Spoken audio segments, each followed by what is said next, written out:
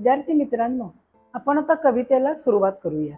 अनुरेणू तुनी शब्द प्रगटती चला चला पुढती विज्ञानाचा प्रकाश आला घडे दिव्य क्रांती. अणुरेणूच्या प्रत्येक सूक्ष्म कणातून शब्द उमटत आहे. आणि तो शब्द काय आहे माहिती चला चला जन हो पुढे चला. अणुरेणूच्या ह्या सूक्ष्म कणातून हे असे शब्द उमटत आहेत आणि त्याच्यानंतर दिव्य क्रांती घडते मानवामध्ये विज्ञानाच्या आधारे खूप बदल होत आहेत. नवयुग आले प्रभातयाची पहा दिसत दिव्य शून्यामधून विश्व उभारू जिद्द असे भव्य. नवयुग अवतरलं आहे. आणि आता सगळीकडे तेजाची आभा सर्वत्र पसरली आहे. आणि प्रतिकूल परिस्थितीवर मात करून आपण मनामध्ये एक जिं जिद्द धरली आणि आपल्याला आता एक हिंमत मिळाली आहे. आणि आपण याच्याच आधारे पुढे पुढे जायचं आहे. हृदयांतरीच्या अशांततेचा वणवा झणी विझला उत्कर्षाचा अनप्रगतीचा मार्ग नवा दिसला. मनामध्ये मनामनामध्ये असलेल्या अस्थिरतेचा अशांततेच्या आज ही पटकन आग विझली आहे. आणि आता आपल्याला उत्कर्षाचा आणि प्रगतीचा मार्ग दिसू लागला आहे. नवी चेतना अंतरी स्फुरली दुबळेपण गेले. नैराश्याच्या होळीमधूनही तेज नवे आले. आता बघा हा. नवी चेतना स्फुरली अंतरी.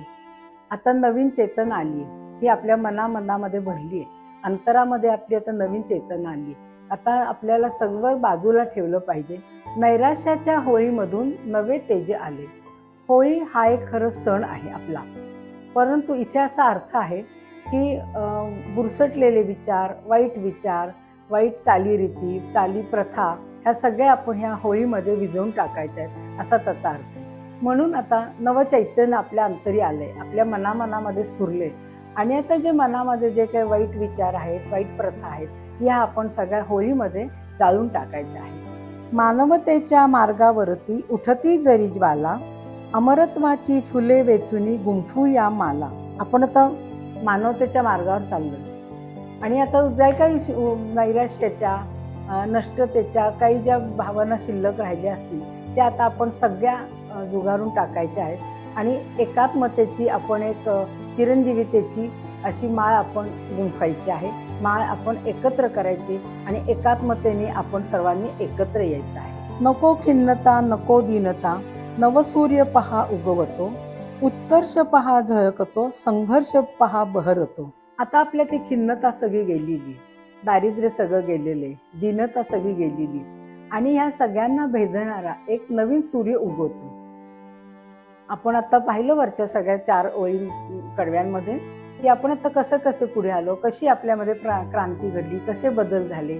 आपण आपले वाईट विचार शून्यातून सगळे आपण नवीन निर्माण केलेले आहेत आणि आपण आपलं एक नवीन युग तयार केले संघर्ष केलेला आहे. पण यातूनच एक या सगळ्या वाईट विचारांना भेदणारा असा एक नवीन सूर्य आता उगवणार आहे आणि आता खूप मानवामध्ये बदल घडून येणार आहे. कारण विज्ञानाच्या आधारावरच मानव पुढे पुढे चाललेला आहे. नसा नसातून जोश उसळतो नव आशा चित्ती अणुरेणू तिने शब्द प्रगटती चला चला पुढती. आता आपलं रक्त इतकं उसळलं आहे आपल्या अंगामध्ये इतका उत्साह आलेला आहे इतका जोश आलेला आहे कारण आपल्या अगदी रक्ता रक्तामध्ये हे सगळं भरलेलं आहे. आणि म्हणून हा सगळा उत्साह हा जोश ही जिद्द ही सगळी आपण मनामध्ये सगळी घेऊन आपण प्रतिकूल परिस्थितीवर मात करून आपण आता पुढे पुढे जायचं आहे.